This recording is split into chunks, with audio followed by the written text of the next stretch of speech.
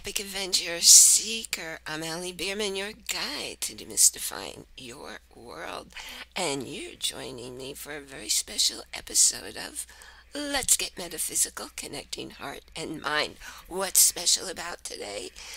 Today is Pearls of Wisdom 2, where I go back to the last 24 episodes and bring you highlights. You will see, if you're watching, you'll see the name as well as the name of the episode that they were in. And if you're listening, you're going to hear it. So you can say, hey, I want to hear that one again. And you know where to look for it. Or, oh gosh, I didn't know anything about that. I missed that. I'm going to go find it. So take it all in. It's going to go by pretty quickly. Enjoy every moment and be sure to let me know what topics you want more of so you can direct where we're going with the show. And I've studied the law of attraction. I've studied a small amount of quantum, the unified field, the superconscious from you know people I respect and admire. And I don't know that any one of us has figured it out where we can prove scientifically with fact that we are all one and we're all interconnected. This is all energy, but it's energy that we can't see, but it doesn't mean it's not there. So, what is there that we can't yet see? Okay, where are we as a collective, as humanity? Where are we right now? And when you we get into a connection, it sounds simple, but we get into a connection with that where people feel that oneness and they start realizing I'm not just some one individual being. I'm co- connected completely to the whole of humanity and beyond. And because of that, I'm because of the feeling of not being alone anymore, you start to realize everything is connected. You're connected with source, you're connected with all humanity, all life.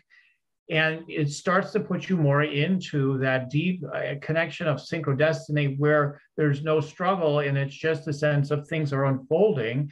And when you experience struggle, it's because you're getting back into the ego. You're getting into, oh, me as an individual, I'm struggling with these issues, blah, blah, blah. And it's not about, it's not personal. It's about what just needs attention that may be showing up for you to focus on, but it's not just for you, it's for everyone. Like when you go to love yourself, when you go to do your own personal work on yourself, you're actually helping to clean this up for the collective simultaneously.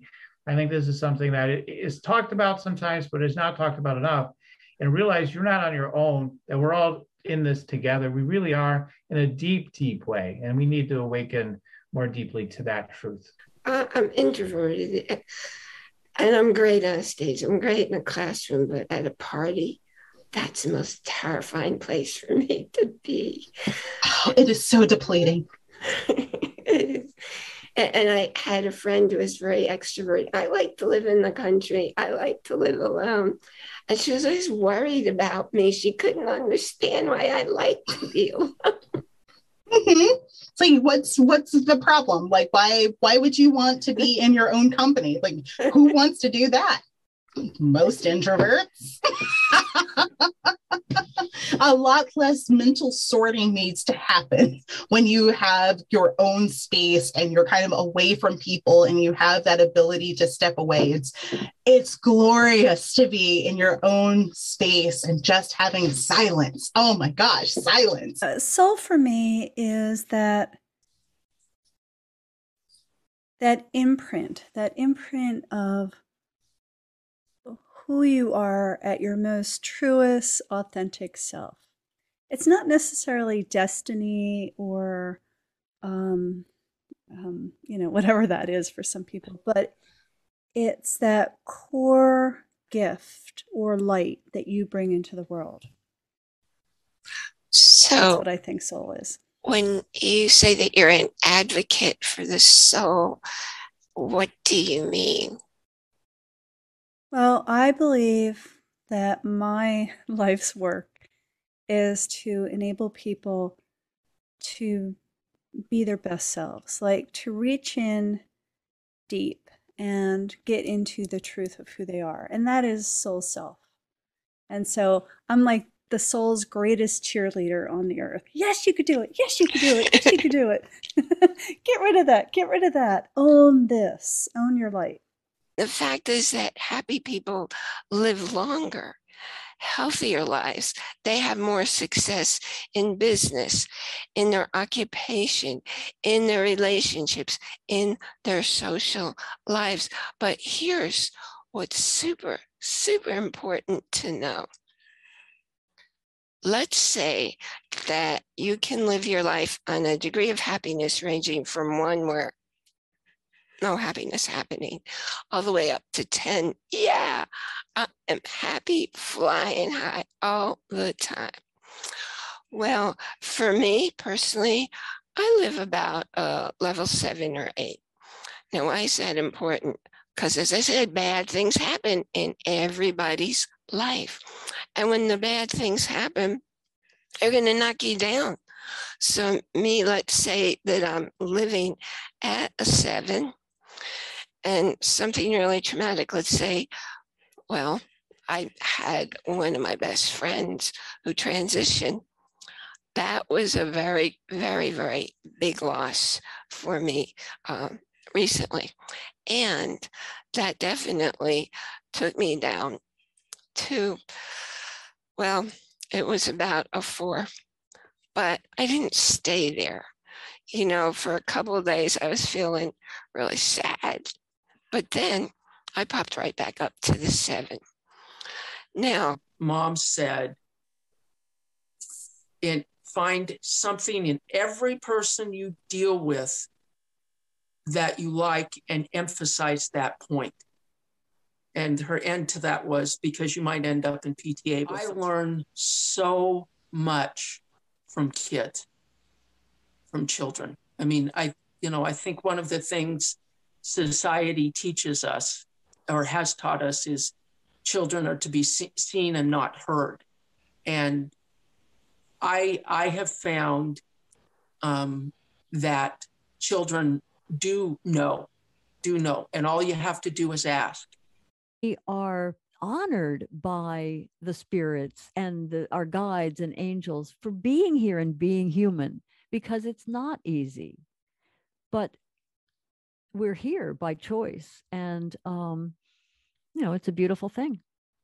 And we're also here by choice at this time i like to say mm.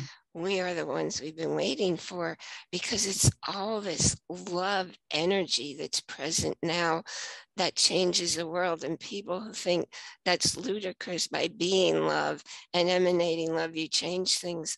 The fact is that's the only way you change things that is yeah. the only way you change things. And that was that was part of the lesson. The lessons I've learned is from communicating with loved ones in spirit and the past lives because we need to know who we are. We need to know who we are as souls. It gives us courage. It gives us reason, purpose. And you're right. And we're here. This is it.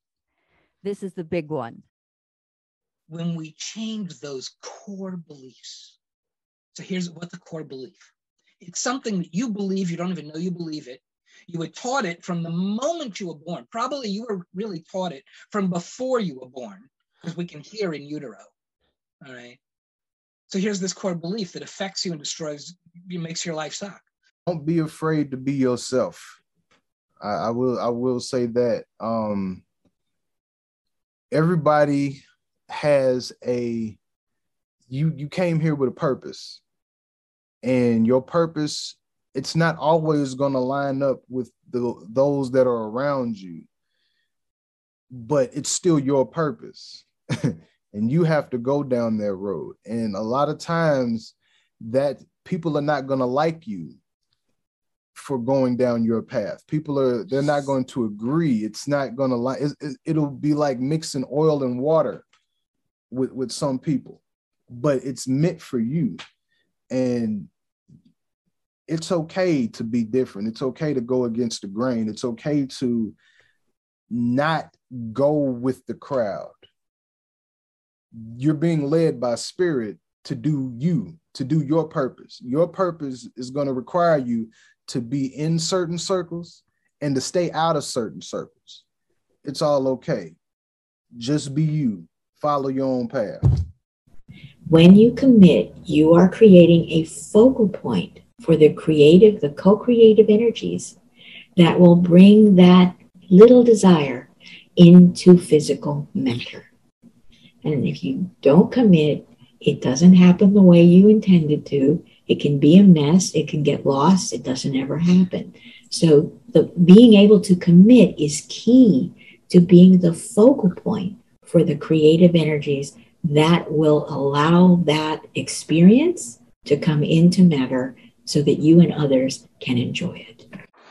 Just because you have a thought and because you've believed it for so long, just because other people in your world believe it, in fact, the other people in your world are the people responsible for putting it in to your mind, doesn't make it real, doesn't make it true. In fact, it's the stories that you tell yourself, the stories, not truth, the stories you tell yourself that keep you stuck. It's the stories, the false stories you tell yourself that cause your suffering. I wish you a wonderful day filled with blessings and reminding you to look for the gifts because they're out there, they're surrounding you, they're coming at you in messages nonstop. And you can choose to tune into them. Some people prefer to choose to tune into what hurts and they like to struggle and they literally live their life from crisis to crisis to crisis. That's a choice.